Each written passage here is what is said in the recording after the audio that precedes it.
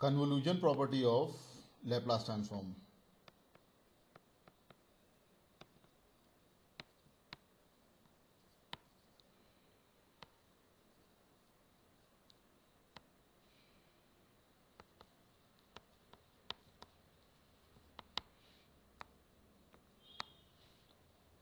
If Laplace transform of x1t is x1s with ROC R1 where x1s is integration of x1t e to the power minus st and the Laplace transform of x2t is x2s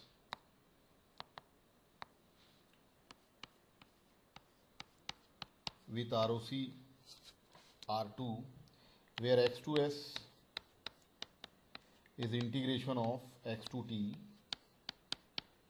e to the power minus st then the Laplace transform of convolution of x1t into x2t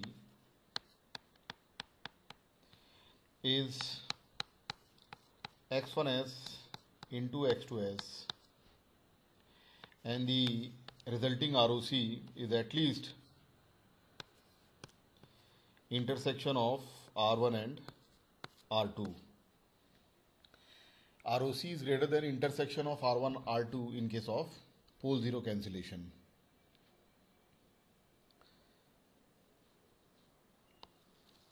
Now let us assume that yt is integration of sorry yt is convolution of x1t and x2t and this yt is integration of x1 tau into x2t minus tau integrating with respect to tau.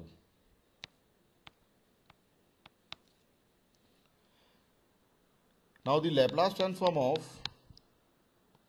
convolution of two signals that is yt is integration of yt e to the power minus st from minus infinity to plus infinity. Now substituting yt from 3 to 4. So the Laplace transform of yt is integration of integration of x1 tau x2 t minus tau d tau e to the power minus st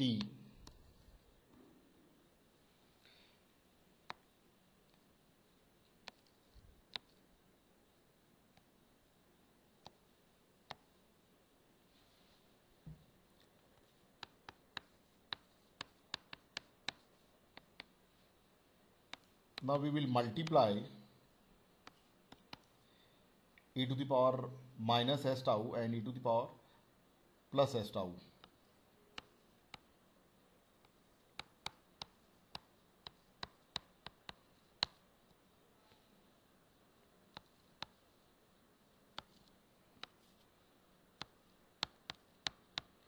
E to the power minus s tau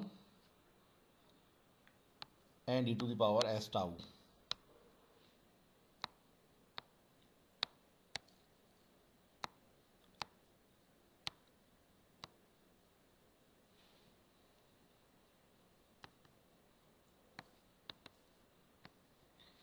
and this integration is with respect to time.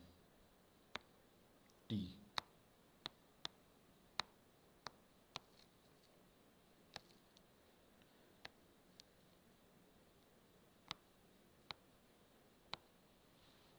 Now we will change the order of integration.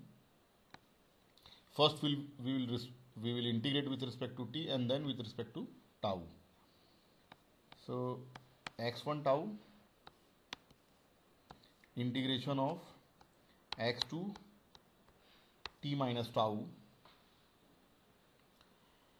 e to the power minus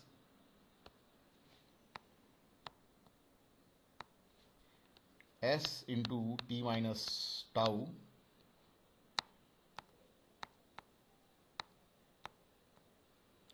from these two expressions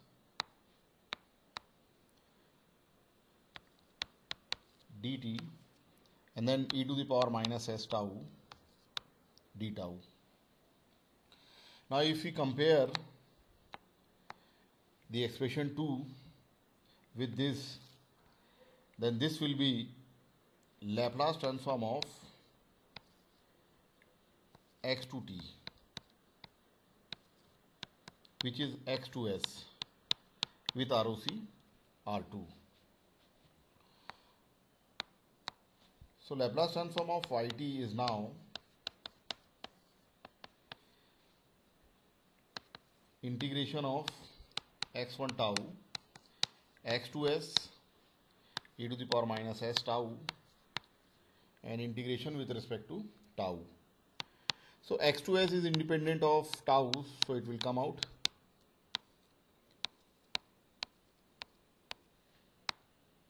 here it is x1 tau e to the power minus s tau d tau. Now if we compare this term with expression 1 then this will be Laplace transform of x1t that is x2s with ROC R1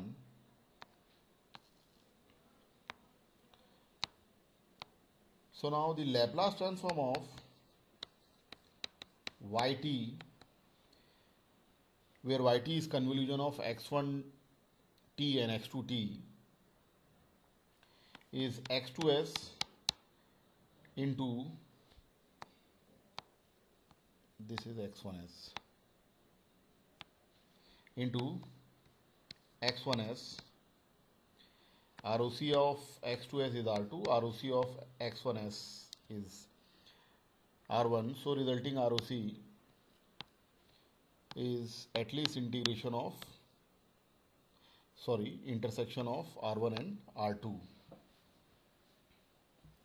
so we can write Laplace transform of convolution of x1t and x2t is x1s into x2s with ROC at least in the intersection of R1 and R2.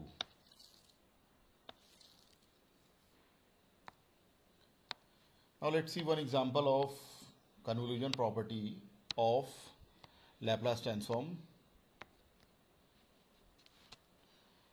Laplace transform of e to the power minus t ut is 1 upon s plus 1 and its ROC is real value of s greater than minus 1. Similarly, Laplace transform of e to the power minus 2t ut is 1 upon s plus 2 and its ROC is real value of s greater than minus 2. So now Laplace transform of convolution of e to the power minus t ut and e to the power minus 2 t ut is simply the product of their corresponding Laplace transforms and the resulting RC is intersection of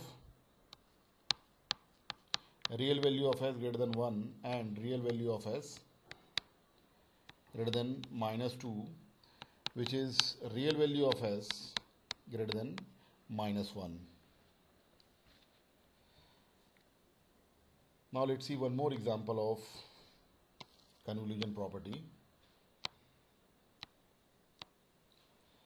Laplace transform of del t plus e to the power minus t ut is 1 plus 1 upon s plus 1 or s plus 1 in numerator we have s plus 1 plus 1 that is s plus 2 divided by s plus 1 with ROC real value of s greater than minus 1. This is the Laplace transform of first signal. Now the second signal is del t minus e to the power minus 2t ut. Its Laplace transform is 1 minus 1 upon s plus 2 or the signal is s plus 2 minus 1 that is s plus 1 in numerator divided by s plus 2 and its ROC is real value of s greater than minus 2.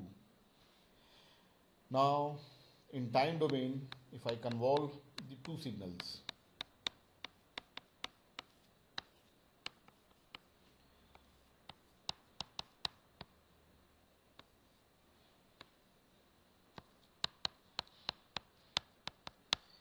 then the Laplace transform of resulting signal is the product of Laplace transforms of their corresponding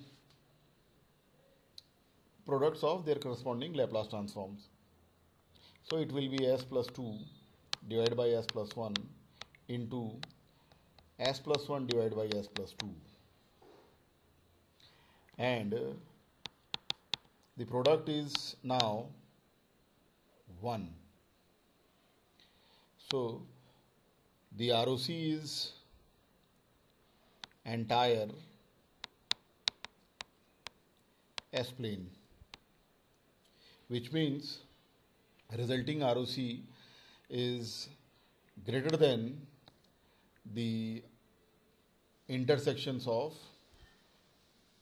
the corresponding ROCs of two signals.